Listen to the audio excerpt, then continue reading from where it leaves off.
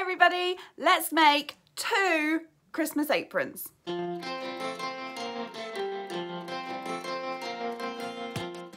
So this idea came from my last Christmas sewing ideas video. What do you mean you haven't watched it yet? Get back and watch it! What I wanted to make was a apron where I could embroider something on the front and we are going to make that today. It's called the one yard apron pattern. Not very imaginative title really, is it? We're going to make that today, but I also have a bit of a thing for ruffles at the moment. So I decided that I was going to make a second one, which is just like a half-sized one, and I was gonna put ruffles around the edge. It's gonna look super cute. But of course, before I make anything, we're gonna need some fabric. I have got from my stash some red felt and some green gingham. I've got about two metres of the green gingham and I've got about a metre of the red felt. My plan is for apron number one, I'm going to cut it like half and half. So it's going to have red felt on the top and green gingham on the bottom. The reason being that I think I can embroider through this a lot easier. So that's my plan for the first one. For the second one, I think I will have gingham and then it will be backed with the red felt and then it can have a gingham frill on the bottom as well. It's gonna look adorable.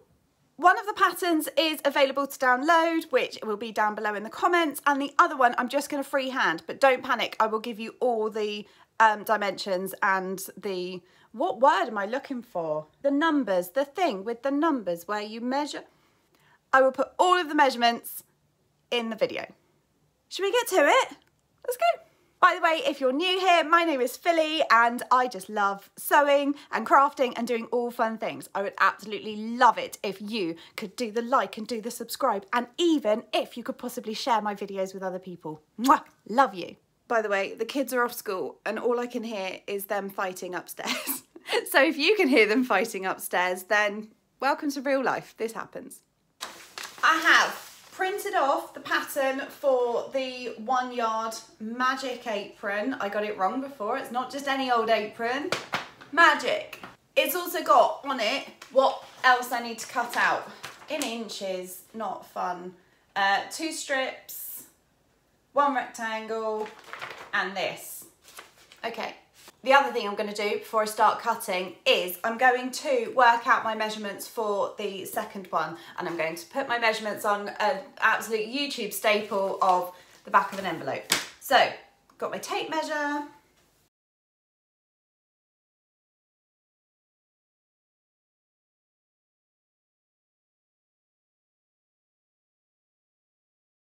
So this is what my measurements are going to look like.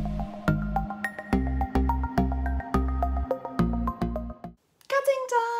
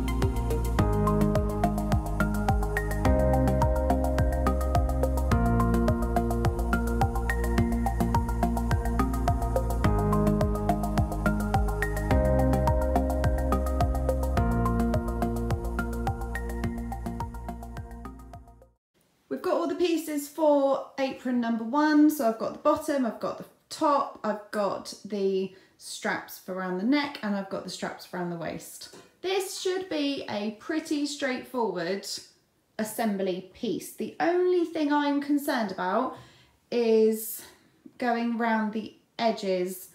I might make some bias binding to go round the edge of that as well, just to make it look a bit prettier. This is for apron two. We've got the front, we've got the backing, I've got the, oh no, this is the ruffle and this is the waistband. Um, can we all take a second for the uh, for the fabric weights? If you would like to see me use some prettier fabric weights, then you can give me a super thanks down below or whatever it is, and I will spend the money on getting some fabric weights that aren't tins from the cupboard. Okay, I've whipped up some bias binding because I think I'm going to have to put it around the edge. I'm going to attach the top and the bottom piece together and then I'm going to press it and then I'm going to overstitch it again.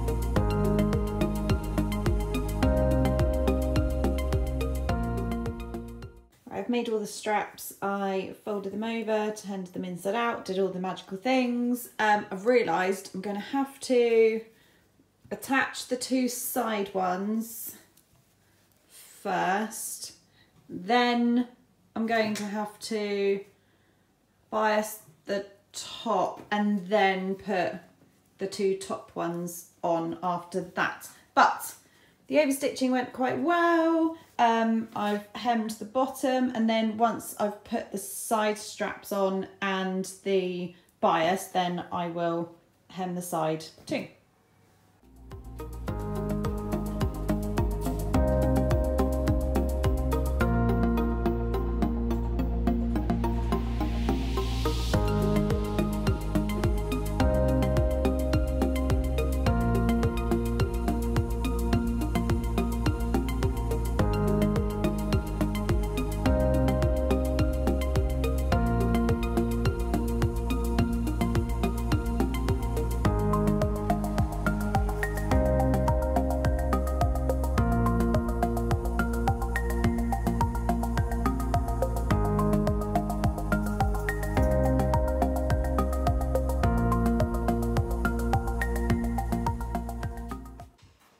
Just wanted to show you the reality of what it looks like at half term. Mm-hmm. Okay, so we've got the iron's out because I'm pressing everything. Then I'm making pancakes, but I've still got my cameras and my thingy, my fabric scissors in there, and I'm watching Lydia Millen all at the same time, whilst there's a kid, oh, there was a kid round the corner as well hiding. The irony is not lost on me that um, I'm making an apron whilst trying to cook pancakes and not being able to wear said apron whilst making pancakes. Ta-da! So the neck thing is the neck straps are on, all the bias bindings on. Um, I need to tidy it up and then I need to hem these sides. And then I think I'm finished. Well, for apron number one anyway. Fit check number one. Ta-da! I think it's going to look so cute with something embroidered on the front, isn't it? And it was so easy to make up. If I was doing it again, I think I would line the whole thing in felt because this hasn't got much substance to it, has it? So I would line the whole thing in felt and then I would put the green just over the top. Right, let's crack on with the second apron. Apron number two. So I've got a back and a front. Um, it's just simply to have a lining around the back so that I can put the um, ruffle in. I'm going to make the two waist ties first. I thought about having a band across the top, but I've changed my mind. So I'm just going to have two ties coming off the side. So I've just cut some, turned the, um, folded them in half. I'm going to sew along the top and down the side, turn it inside out, um, then press it and then go around the outside nicely. I'm going to do that times two and then I've got the ruffle to make as well. So the same principle will apply. I'll fold it in half. I will go across. I will then turn it inside out and then I'll start gathering it.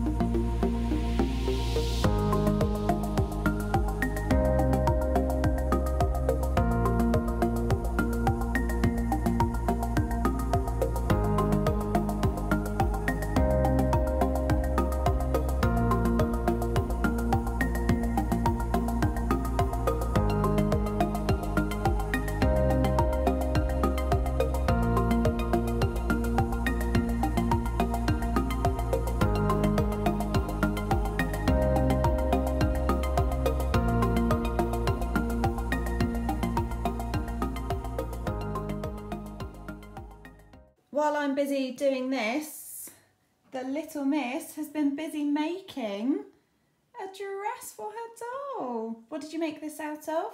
A sock. A sock. And show me it's an off the shoulder number with a gorgeous belt. Cut on the bias. I love it. How long did it take you to make? Um, only a few minutes. Only a few minutes? Do you want to come and do some videos for me on showing people how to make it? no. No. no, thank you. I have made the ruffle and I have pinned it, or well, clipped it to the backing. I'm going to baste stitch it around the edges and then I'm going to take the top and I'm going to clip all of that around and then I'm going to firm stitch it but only around the three sides and leave the top open to turn it all inside out.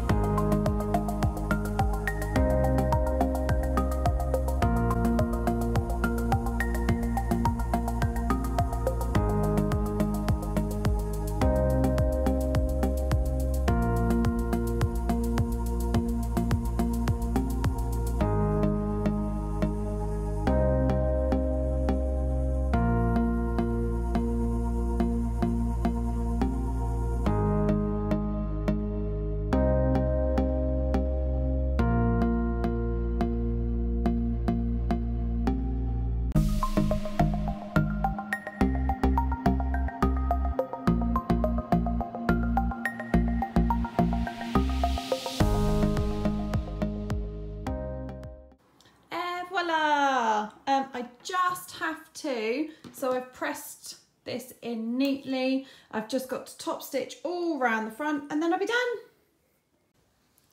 Fit check! So obviously this is it round the one way. I uh, I'm not impressed with how much all the threads cling to the um, felt, but that's okay. And then this is it round the other way. Don't mind me, just do myself up. Ta-da! I think I prefer it round the other way. It looks so cute, doesn't it? I love the red and the green. I think that's adorable. Ooh. Yeah, I definitely prefer it this way.